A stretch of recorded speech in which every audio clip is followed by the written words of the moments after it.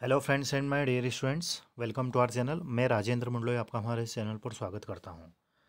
जैसा कि आप सभी जानते हैं कि हमारे चैनल के माध्यम से क्लास ट्वेल्थ इंग्लिश के क्वेश्चन बैंक को हम सॉल्व कर रहे हैं, जिसमें जो हमारा राइटिंग स्किल वाला सेक्शन है, उसमें, उसके कुछ क्वेश्चन के आंसर मैं आपके लिए लेकर आया हूँ।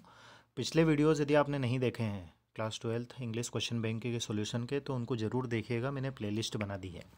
साथ ही हमारे चैनल के माध्यम से डेली रात को आठ बजे हमारी लाइव क्लास लगती है, जिसमें क्वेश्चन प्रैक्टिस हम कर रहे हैं। तो आपकी एग्ज़ाम के पॉइंट ऑफ़ व्यू से वो काफ़ी महत्वपूर्ण है तो आप उसको भी ज़रूर देखिएगा। चलिए, क्वेश्चन है write a letter to your father requesting him to send you R S nine thousand मतलब मनी ऑर्डर के लिए लेटर लिखना है, जिसमें नौ हज़ार रुपये का आपको दर्शाना है कि नौ हज़ार रुपये आप मनी ऑर्डर करवाना चाहते हैं। To purchase books school and hostel fee, ताकि आप किताबें खरीद सकें, स्कूल की फ़ीस और हॉस्टल की फ़ीस भर सकें। ठीक है तो इसके आंसर की ओर चलते हैं। देखिए, जब भी हम लेटर राइटिंग की बात करते हैं तो जब भी हम आंसर लिखें तो सबसे ऊपर सेंडर का एड्रेस आता है मतलब जो पत्र लिख रहा है उसका। तो यहाँ पर एड्रेस दिया गया है, केंद्रीय विद्यालय नेपानगर एमपी और सेंडर के एड्रेस के जस्ट बाद में फिर आता है डेट मतलब किस तारीख के दिन पत्र लिखा गया है। ठीक? अब आगे बढ़ते हैं माय डियर फादर ठीक है? एप्लीकेशन यदि हम लिखते हैं तो उसमें रेस्पेक्टेड सर लिखते हैं।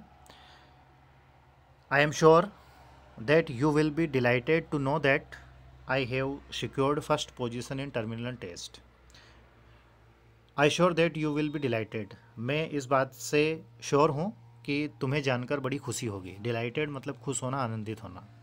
That I have secured first position in terminal exam मतलब जो मेरी त्रैमासिक परीक्षा हुई थी, उसमें मैंने पहला स्थान प्राप्त किया है। यह बात जानकर आप काफ़ी खुश होंगे। आई एश्योर एश्योर का अर्थ होता है आश्वस्त करना, किसी को विश्वास दिलाना।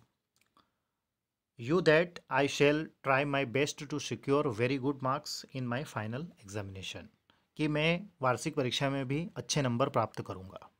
ठीक है? I have to buy books मुझे किताबें किताबें ख़रीदना है या ख़रीदना होगी एंड पे हॉस्टल फ़ीस और मुझे हॉस्टल की फ़ीस भी भरना है। सो so, इसलिए kindly send me R S nine thousand मतलब मुझे नौ हज़ार रुपये भेजने की कृपा करें। Please convey my regards to mom and love to Juhi regards का अर्थ होता है जिसे हम कहते हैं कि कि माँ को चरण स्पर्श या पिताजी को चरण स्पर्श तो रिगार्ड्स है ना? और जूही को प्रेम मेरी तरफ़ से, है ना? जूही छोटी बच्ची होगी। फिर लास्ट में हम लिखते हैं योर अफेक्शनेटली ठीक है? यहाँ पर आप एक वर्ड का यूज़ जैसे हम लेटर से एप्लीकेशन वगैरह लिखते हैं तो हम कंफ्यूज हो जाते हैं कि लविंगली लिखें सिंसियरली लिखें, क्या लिखें। तो एक फेथफुली एक ऐसा वर्ड है, जो सभी जगह आपको काम देता है। तो आप सिर्फ़ जो स्कूल की हम एप्लीकेशन लिखते हैं, उसमें ओबीडियंटली लिखना है और बाकी सब में आप चाहें अगर तो फेथफुली का यूज़ कर सकते हैं। और लास्ट में आपका नाम। क्वेश्चन में यदि नाम दिया गया है तो आपको नाम लिखना है, नहीं दिया गया है तो फिर अपने हिसाब से कोई सा भी लिख सकते हैं। ठीक है दोस्तों? नेक्स्ट क्वेश्चन की ओर चलते हैं। अगला क्वेश्चन है हमारा।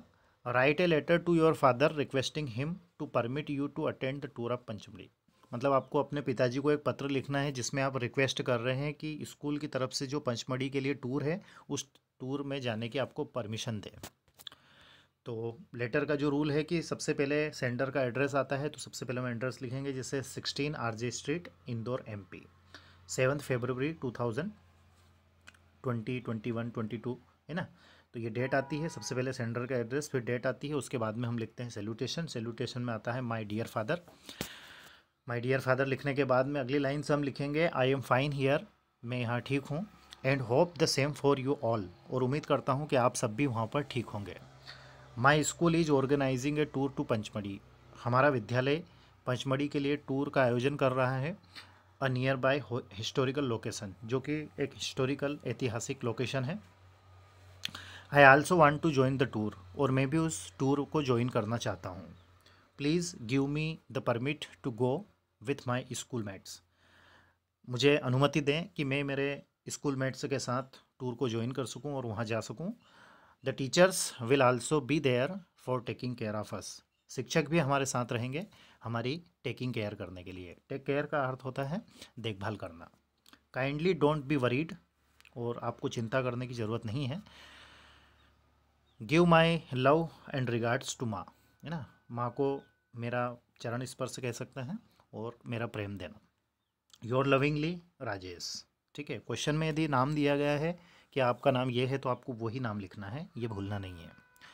नेक्स्ट क्वेश्चन की ओर चलें तो क्वेश्चन नंबर है यू आर प्रियांसी आप प्रियांसी हैं the head girl of your school school की आप हेड गर्ल हैं, जैसे मोनिटर होता है उस प्रकार से। Draft a notice to inform the students about a picnic that your school is going to organise मतलब आप हेड गर्ल हैं तो स्कूल पिकनिक के लिए एक आपको नोटिस तैयार करना है। Giving all necessary details is not more than fifty words और जो भी डिटेल आपको देना है, वो पचास शब्दों के अंदर ही होनी चाहिए। तो जो नोटिस होता है नोटिस में सबसे ऊपर हम नोटिस लिखते हैं। नोटिस के जस्ट बाद में हेडिंग आती है कि ये नोटिस किस लिए है तो पिकनिक के लिए है तो फॉर पिकनिक लिखेंगे। उसके बाद में हम डेट लिखेंगे। कौन सी डेट है ये? ये वह डेट है जिस दिन नोटिस लगाया गया है। ठीक है? वह डेट लिखेंगे। उसके बाद में लिखेंगे बॉडी ऑफ़ नोटिस है ना? तो the principal is please to allow the students of the school to go picnic to Suraj Kund Suraj Kund एक जगह का नाम है। वहाँ पर हाँ पिकनिक पर जाना है तो इसलिए आप सभी को आ, नोटिस दिया जा रहा है मतलब जानकारी दी जा रही है प्राचार्य महोदय के द्वारा। ऑन संडे रविवार के दिन ट्वेंटी फिफ्थ ऑफ़ अगस्त पच्चीस अगस्त दो हज़ार बीस लिख सकते हैं बाईस लिख सकते हैं ना।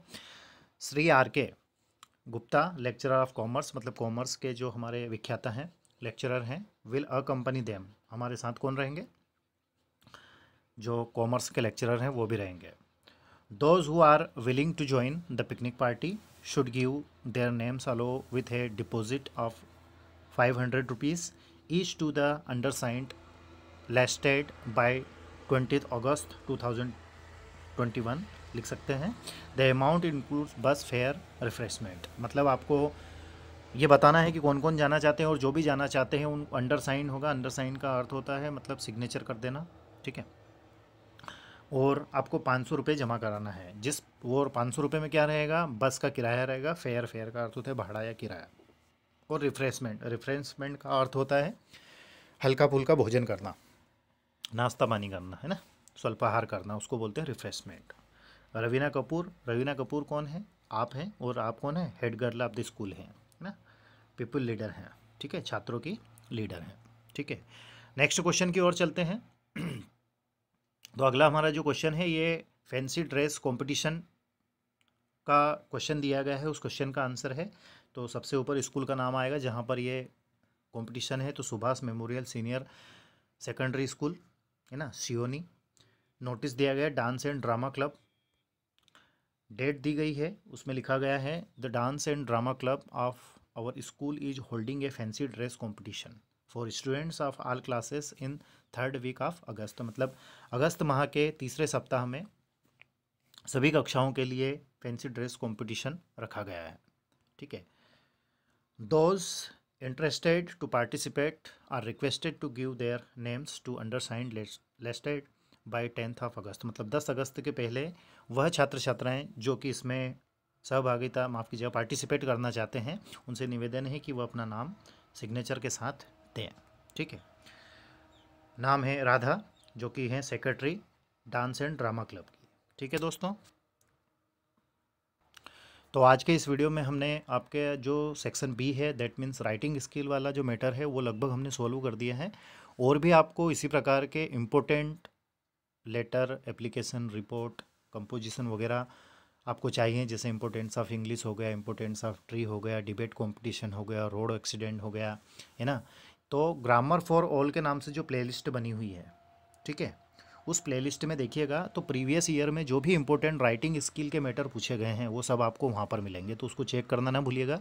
साथ ही आपके जो फ्रेंड्स हैं रिलेटिव से हैं क्लासमेट्स हैं, उनके पास भी प्लीज़ वीडियोज़ को शेयर कीजिएगा, ताकि वह भी अपनी तैयारी अच्छे से कर पाएँ। Thank you very much for watching and please take care of your self